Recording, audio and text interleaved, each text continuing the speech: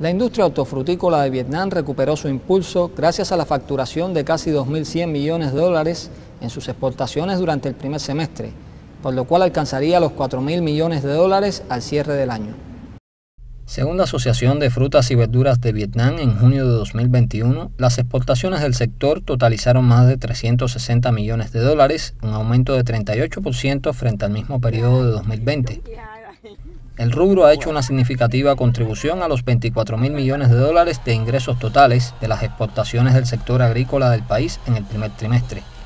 Actualmente el sector experimenta un giro positivo al reducir gradualmente la dependencia del mercado chino y aumentar la proporción de las exportaciones en otros mercados exigentes como la Unión Europea, Estados Unidos, Corea del Sur y Japón, entre otros. Sin embargo, China sigue siendo el mayor receptor y representa el 56% del valor total de las exportaciones de frutas y hortalizas de Vietnam.